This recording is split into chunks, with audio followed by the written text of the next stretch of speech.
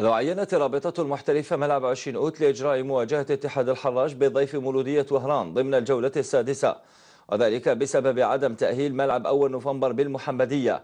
بعد معاينته أمس الأربعاء من طرف لجنة تأهيل الملاعب والتي لم تعطي الضوء الأخضر بعد بشأن الملعب.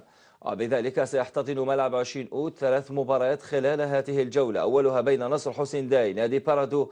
الثاني غدا الجمعة بين شباب بالوزداد وشبيبة الثورة ولقاء اتحاد الحراش ومولودية وهران.